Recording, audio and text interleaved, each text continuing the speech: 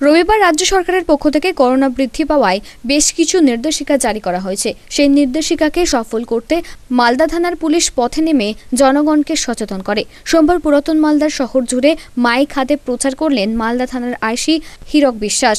পথচলতি মানুষকে সচেতন করার পাশাপাশি তিনি মাস্ক ও বিলি করেন। মাস্ক ঠিক আছে পরবে। আবার করোনা বাড়ছে হ্যাঁ? দেশবাসীকে জানানো হচ্ছে।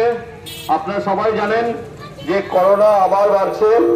নতুন ভ্যারিয়েন্ট ওমিক্রন খুব ছোঁয়াচে ছড়াচ্ছে।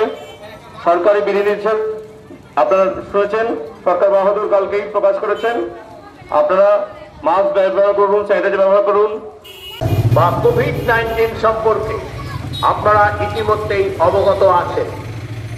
মারণ এই ব্যাধি মানুষের জনজীবনকে বিপর্যস্ত করে দিয়েছিল এমনকি।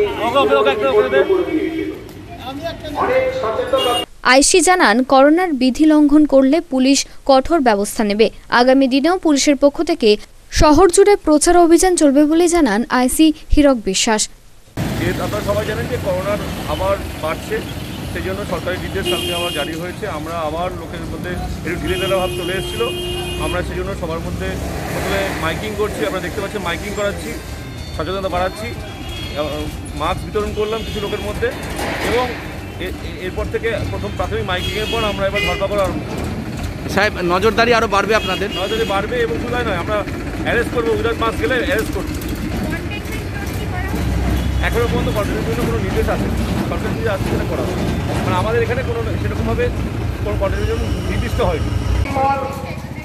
মার্কেট কমপ্লেক্সে উপস্থিতি পঞ্চাশ পার্সেন্ট পর্যন্ত থাকতে পারবে এবং রাত দশটা পর্যন্ত খোলা মালদা থেকে দেবু সিংহের রিপোর্ট, আনন্দ বার্তা।